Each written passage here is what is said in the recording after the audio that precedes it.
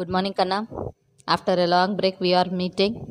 In this session, we are going to see about history, lesson 3, rural life and society.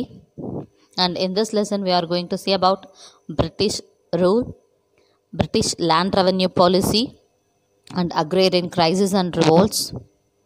So, in colonial period, that is after British came to India, they slowly occupied first economically they occupied our country by trade and slowly they concentrate in political affairs and they made the politics the government under their control.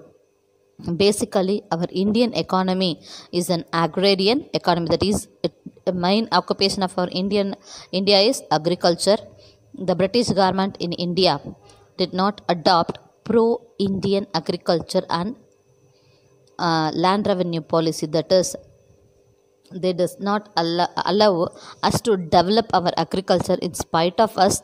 They use our agricultural land for their trade and for their export. This led to our uh, farmers towards a very backward condition which led to a great revolt by the agricultural farmers. For this the base that is the land revenue system introduced by the british is one of the base reason for this crisis. So the british introduced three land revenue systems. That is the permanent settlement ryotwari and mahalwari system.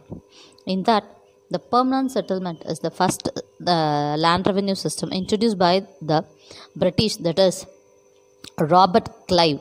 He became as a diwan of bengal bihar and orissa and at the time he be, he introduced this permanent settlement in the year 1765 and after him warren hastings came to his position and he introduced quinquennial that is five yearly uh, land revenue to be paid by the people to the government.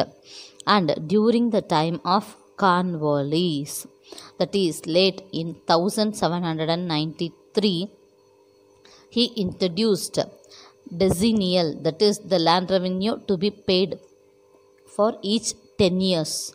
So first they prepare for each one year then warren hastings for each 5 year and now cornwallis for each 10 years and it was introduced in 1793 and this 10 years land revenue system is called as permanent settlements. Under this bengal bihar orissa varanasi all under northern Karnataka are roughly covered 90% of the total area of British India.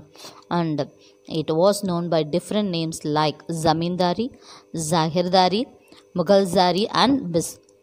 Biswedari, that is the land, the people who governed the land and who is paying tax to the government are called by these names that is Zamindari, Zagirdari and all these zamindars as the landowners they pay tax to the government and also they act as an agent for collecting revenue from the cultivators.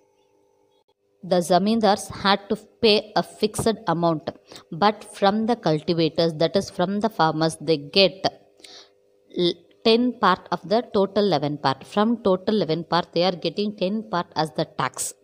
And these zamindars has to grant patta to the ryots that is the farmers that is the cultivators who is working in the farm and the judicial powers are, are also were taken away from the zamindars by the british government.